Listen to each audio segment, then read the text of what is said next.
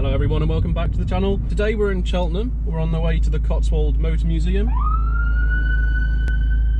Magic. We're on the way to the Cotswold Motor Museum. Really don't know what to expect, so there could be a lot of interesting cars for me to show you, or not. I don't actually know what's there. Now I believe that the setup of the building is that it's split into six or seven different galleries with cars from each era or each type of car, GTs, that sort of thing, in each gallery. What I'll try and do is focus on all the Italian cars that I can find there, because I know that that's what you guys want to see if you're watching this channel. And we'll see if there's anything else interesting there. I think there's a lot of old British stuff, as you'd expect with it being in the Cotswolds. Potentially some old Jaguars that I'm quite looking forward to seeing. And I think there may be a smattering of pre-war stuff too. Um, some 1920s Tourers, that sort of thing. So we're going to get on the road. It's about a half hour drive to get there. Because the forecast was for great weather, while I'm in this part of the country for a couple of weeks, I decided not to bring the carbon roof so I could just pop the roof down at any point I wanted. Now, of course, all the time I've been working in the week, the weather's been absolutely fantastic, sunny, 20 plus degrees, you know, prime top-down weather. And I know what you guys want to hear is the Record Monza exhaust. But unfortunately, as I begin to shoot a video, as is always the way, it's uh, grey and pretty dismal and uh, about to rain, so great.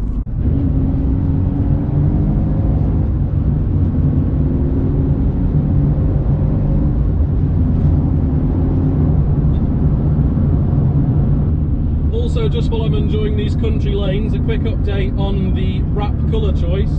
Um, since I actually made that video, within about a week I think, somebody posted a video of the car in 3M Gloss Fiery Orange, uh, as luck would have it, so I was able to see what that would look like.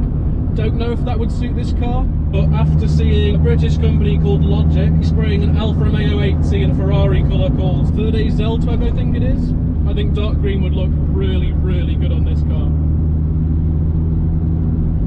Benefit of the green as well is that it doesn't matter what colour OZ Ultraleggera I get, they'll all match it. Right, we're here. I imagine this is what everybody thinks Britain looks like, but it doesn't. Right, let's park up and get to the museum.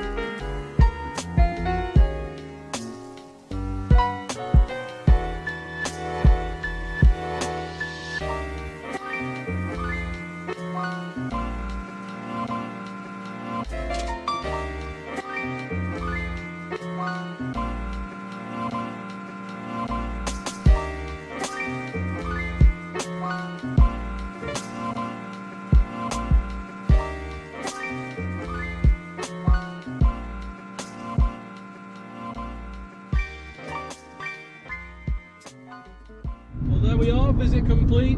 To be honest, I thought it was a lot bigger than that. Although we did get to see that gorgeous Jag XK140, which I'd love to own one day.